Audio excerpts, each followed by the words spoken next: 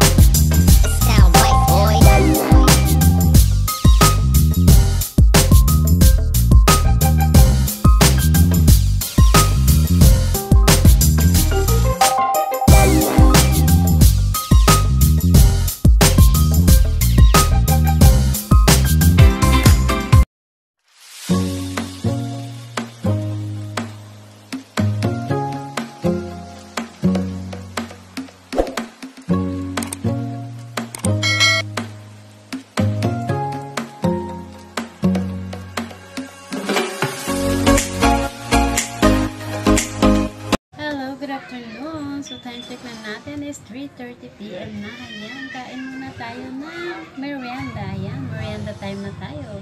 So, nagutom ako guys kasi feeling ko gusto kong kumain ng kanin. Eh, naubo, naubos na yung ulam namin ng tanghali. Kaya ayan, nagluto ako ng corn beef na may itlog.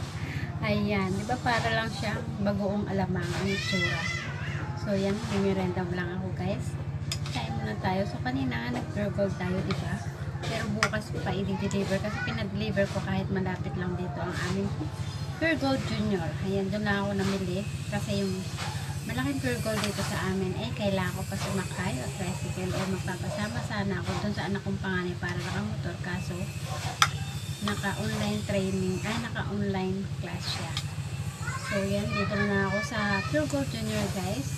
Napakalaki ng aking ah load sa Pure Junior. Talagang always panalo. Ayan. Mamaya kwento ko sa inyo. So, ayan, mamaya na ulit tayo. Magkita-kita. Dahil kay Pure Gold, Pure Gold, Pure Gold, always panalo. So, guys, so today, guys, um, time check nga pala natin is 9.30pm na. So, ayan, maya maya magsasara na tayo dahil wala na rin naman masyadong bumibili. So, may time naman guys na ganitong oras usually para na mabili. Pero, ngayon naman ay wala na masyadong nabili, syempre. So yun guys, isi-share ko lang sa inyo ang ating mga napamili kay Pure Gold kanina dahil meron pa, um, may, nagkaroon ng weekly pa promo si Pure Gold. Ayan, dahil kay Nissan Ramen, nagkaroon tayo ng 450 auto max na 450 syempre. Ayan, diba? Inulit lang natin. Ayan, dahil first time ko makareceive ng ganitong pa-promo at karagdagan kita kay Pure Gold. Kaya napakasaya ko guys. Talaga masaya masaya ako kasi nga mayroon akong karagdagan kita dun sa 450 kasi guys. Di ba sa bawat load, paload ng mga customers meron tayong patong na 3 pesos. So kaya hindi lang siya 450 ang kikitain natin doon.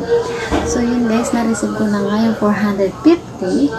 Kaya pwede ko na, ah, nagamit ko na siya kanina para pang-load sa mga customer. Hindi ko muna pinala kargahan yung aking pang-load ng globe para mga para naman magamit ko yung Pure Gold Always Panalo Auto Load. Ayan. So yun guys, bukas ah, dahil nga ipapadeliver ko bukas yung ang mga napamili ko kay Pure Gold. Dahil nga, hindi natin kinaya, kaya, hindi natin kakayanin na buhatin lahat yung pinamili natin kanina. Kaya sabi ko, i-deliver na lang sa bahay.